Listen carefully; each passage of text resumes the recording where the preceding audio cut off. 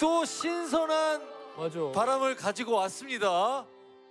사실 오디션이라는 곳이 화려한 무대를 첫인상에 심어줘야 되는 곳이라 그런 무대가 워낙 많아서 조금만 화려할라 쳐도 오히려 심사위원 입장에서는 좀 이렇게 오히려 뒷걸음질을 치는데 시포님의 화려함들은 불편하게 한 부분이 하나도 없었고 너무 멋있었고 되게 건반을 가지고 그런 식으로 리듬을 막 타시니까 그 약간 정갈하면서도 그 섹시한 그런 무대였던 것 같습니다. 감사합니다. 저는 시포 가수님 먼저 보컬 얘기부터 좀 하자면 예. 그런 거 있지 않았나요?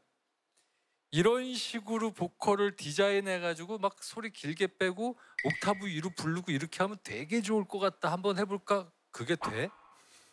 이런 거 있잖아요. 예, 우리 머릿속으로 상상하는 거. 그러니까 머릿속으로 상상한 걸 실현을 해버리면 어떡해요? 그 유희열의 상상은 현실이 된다처럼. 그쵸?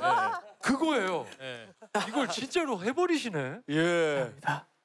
어, 잘 나오셨습니다. 네, 감사합니다. 아, 연주와 노래 정말 잘 들었습니다. 감사합니다.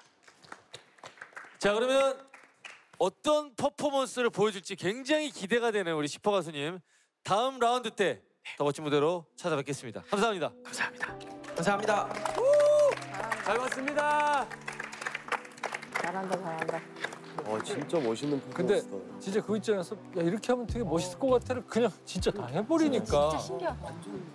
그걸 다 해버려.